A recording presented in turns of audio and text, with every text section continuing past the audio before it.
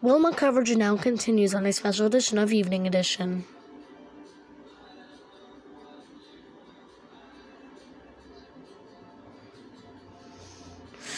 Right now, our city is getting slammed by Hurricane Wilma right now. You can also see that that northern eye wall is also barreling. I'm excited on the scene in Key West, Florida, where we are getting slammed down by Hurricane Wilma. Right now, this is a very dangerous situation. We are on storm alert right now in Florida. Hello, everyone. Welcome back to the Challenge. As you can see, we're covering Hurricane Wilma right now. Naples, Florida is a shower of power right now. This is very everyone's without power right now actually in Naples, Florida because of this Hurricane Wilma and it also hits places like Miami. It's also a very rough time.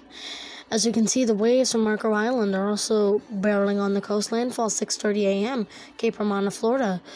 It's moving at 120 miles per hour, moving northeast, and its protected path is right here. We also have Mike Seidel on the scene. Yes, like said also, as we were saying with Hurricane Wilma, that we also could see some very strong winds across the coast.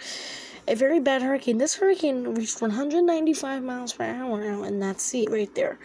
And that's what makes it so good, is that we've had so many things come and go. But it's not good at all. It's actually very scary that all these little bricks and stones over here could make some very bad wind.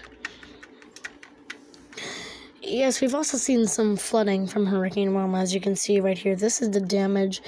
There's also like pong spring boxes everywhere.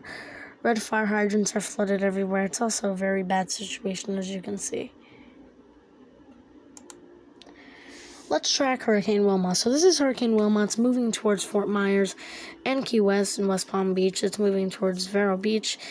A very bad place to be. So this is Hollywood, Florida. It's getting prettier, pretty nasty over there. So that's what we're doing.